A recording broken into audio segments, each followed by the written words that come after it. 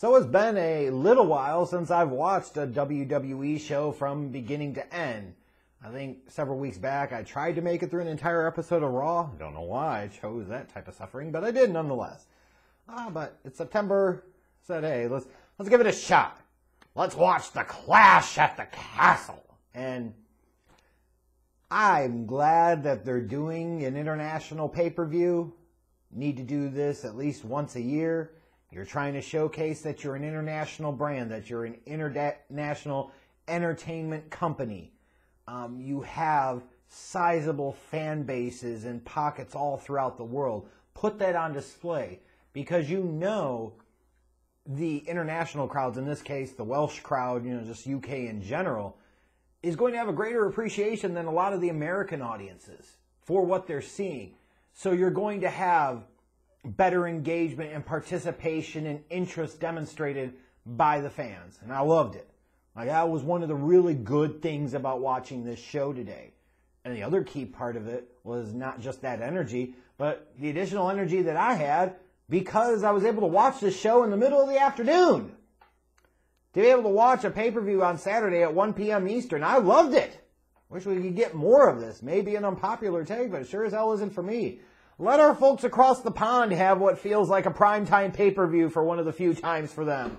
Give us a mid-afternoon show. It benefited everybody as far as I'm concerned. And I look at the show and it was solid. I enjoyed myself. Um, was not a spectacular piece of wrestling show, but I, I enjoyed myself and enjoyed my time. Uh, the six woman tag that kicked off the show, though, it was okay. It was a little bit long for my taste and it was a bit sloppy and kind of choppy in its movement. But the cool thing about it was, is you have the damage control group with Bayley. They win. Bayley goes over Bianca. You're setting up future story. Like, not every match has to be a five star showcase to get the job done. This one gets the job done. It did what it needed to do. So that for me is cool. It really didn't matter because the next match was so great. Now I've never been the hugest Walter or Gunther fan, um, but clearly Tapioca Tips he is no longer. Like he took better care of his body. Like he decided, hey, like I could really be something at this wrestling, so I'm going to act like it. I'm going to conduct myself like it. I'm going to get myself into better freaking shape, and it shows. Um, but Gunther and Sheamus for the Intercontinental Championship was fantastic. An old school kind of physical brawl. This is the type of match that Gunther should be showcased in. This is the type of match that a Sheamus should be showcased in. I loved how they allowed the fight and the physicality and the stiffness of the fight to come through and they weren't overly reliant on high spots, didn't need a ton of them, not called for here. If you don't need to, why go there? Didn't have a reliance on near falls and false finishes as too many of these lazy, sloppy ass matches get in professional wrestling today. This is the type of wrestling that I enjoy. This is the type of wrestling that I love. This is the type of stuff that I don't want to see every single time. No, because just like anything else, you know, it gets to be too much of any one thing is a bad thing. But god damn, this match was outstanding. The crowd was really into it. I was really into it. Like, the only crying shame to me about this is that this wasn't a WrestleMania type match. Like, that's how good this match was. One of those undercard, mid-card matches that avoids a bunch of gimmicks and stipulations, that avoids a bunch of high spot, so it doesn't take the shine. It has its own unique feel and spot on the card, and it delivers in every freaking way. It was fantastic. Um, and maybe because it was so fantastic, the next match, the SmackDown Women's Championship, I just didn't care much about. I could tell the ladies tried, but I didn't care. I don't care about Shayna Baszler. I certainly don't care about Liv Morgan. I personally don't see what all the Liv love is for because I, I just not feeling it. And, you know, to be fair, probably not a character meant to appeal to me. Fine, whatever. But you know, you're gonna put her on the show. Like it, it's very obvious that Shayna had to slow down quite a bit in order to be able to work with Liv. Like I said, they tried. I'm not here to bury them, um, but Liv Morgan wins. That, that didn't surprise me. I mean, she's going to beat Ronda Rousey. She's got to beat Shayna, right? Um, you beat the name brand version. You got to beat the great value version. But yeah, could have done without this match personally. Edge and Rey Mysterio versus Judgment Day. Woo! The crowd loved it. Had a lot of fun. So did I. I'd love to see Edge get one more run as a world champion. Let the young lion roar one last time. I'm just saying. All this talk beforehand about is this when Dominic's going to turn? Is he finally going to turn? Now, I mean, personally, I would have loved to have seen Rey tra- turn on Dominic. He's not his son, anyways. I turn on him. Align with Edge. Become rated R as a tag team. R E Y T E D R. And go on some two man power trip and dominate things. Show these young fools how big boy business is done. And that's exactly what happened in this match. You got two Hall of Famers, two legends in Edge and Rey Mysterio. There's not enough heat in the damn world that you could try and pretend is there to make me believe or feel that a freaking faction like Judgment Day, this mid-card faction all freaking day, should be beating Edge and Rey Mysterio. F that. Just because they're fresher faces or younger talent doesn't always mean they need to go over, and they clearly didn't here. And it wasn't about them anyways, because the way this all played out, it needed to go down like this. Edge and Rey showing how big boy business is done, and then Dominic remembering, just like his haircut reminds him, that he's Eddie Guerrero's son, damn it! And he don't need Rey Mysterio. Rey Mysterio's trying to hold him down. Edge was just a casualty, a pawn that was used in order to get revenge on Rey Mysterio. And this is big boy business here by Dominic. Don't just go after Rey Mysterio, go after Edge too. You're getting yourself two feuds with two legends, two Hall of Famers. Why wouldn't you? Like that was great. It worked out.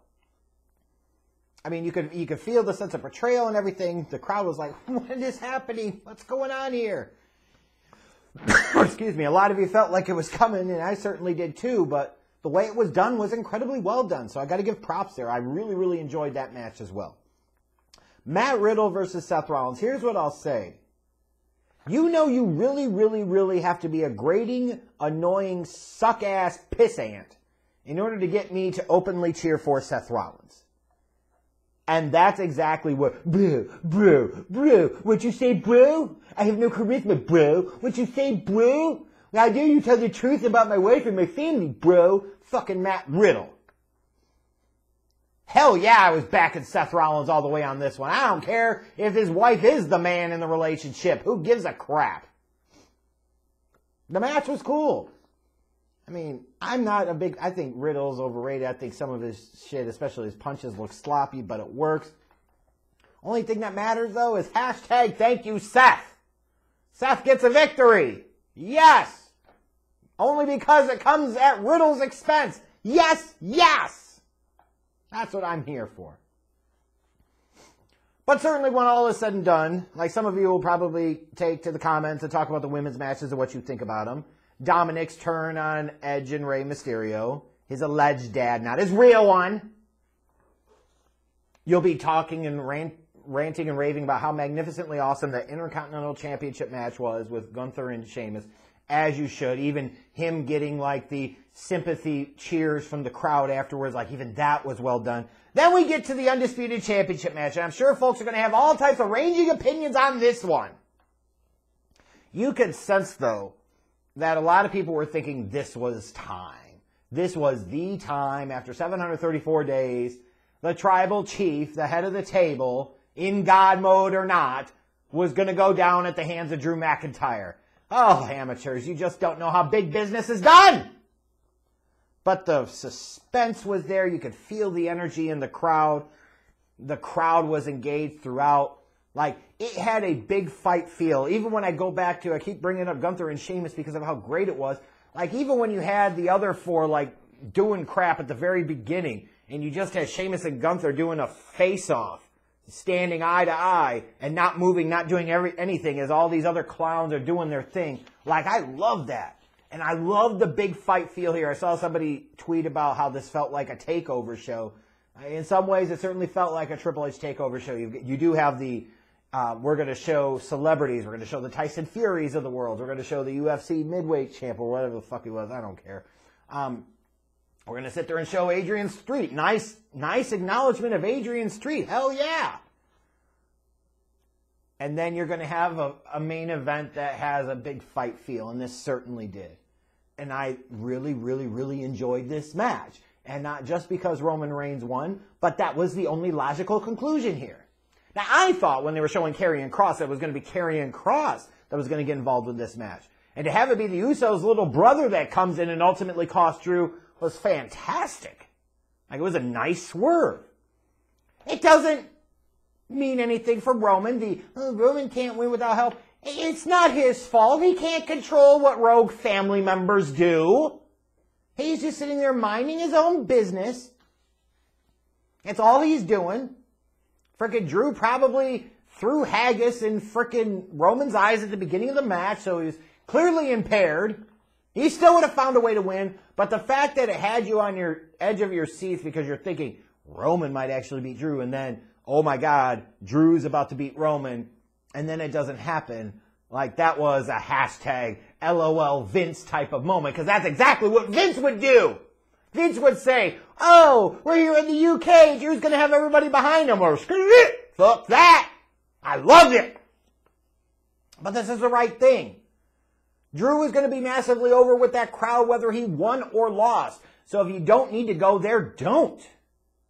Personally, like I said, I would maybe have Kross interfere, but now you've introduced a new member to the bloodline, a way to freshen it up. Roman still goes over, so he has he, and all of this is good. And frankly, when you look at the way this show finished, when you got Tyson Fury in there, the, the fucking shot he hit on Austin Theory when Theory was trying to come out to cash in, it was fantastic. Everybody could get down with that. Because if you have a Money in the Bank winner named Theory, what's next? Is tag team partners fucking hypothesis? That's stupid!